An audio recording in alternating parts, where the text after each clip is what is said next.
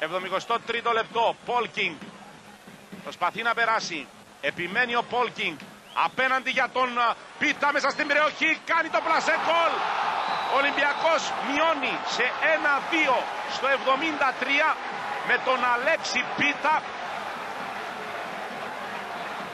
Καταφέρνουν οι ποδοσφαιριστές του Ολυμπιακού με 10 ποδοσφαιριστές και μειώνουν στο 73 με αυτόν τον συνδυασμό παλιά προωθημένη για τον Αλέξη Πίτα στην